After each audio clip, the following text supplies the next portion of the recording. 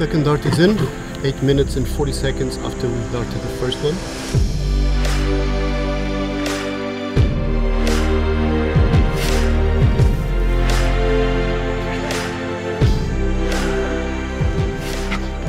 The foundation of modern day conservation has got to be based on science.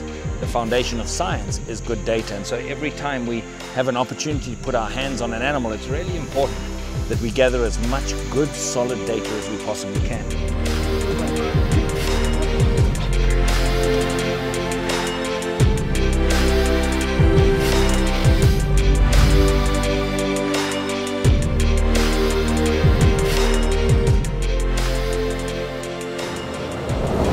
Well, we caught these lions without mishap. We managed to load them on the vehicles, and we're just arriving at the small town called Massingir, which is where the airplane should be waiting for us.